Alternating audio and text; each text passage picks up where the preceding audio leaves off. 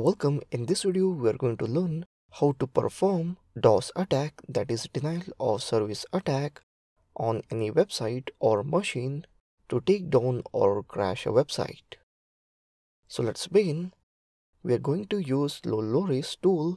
Slow Loris is a type of denial of service attack tool created by Robert R. Snake Hansen which allows a single machine to take down another machine's web server with minimal bandwidth and side effects on unrelated services and ports.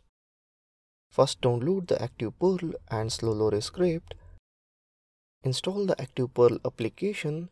It will take some time to install.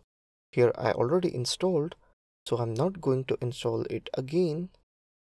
Now next copy the SlowLoris script to C disk. So now to start the attack we need the IP address of target machine.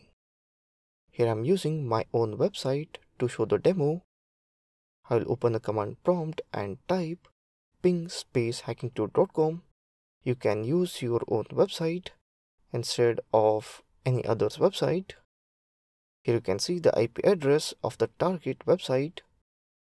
So now type to start attack start space c slowloris.pl space hyphen dns target 107.180.54.186 that is the IP address hyphen port 80.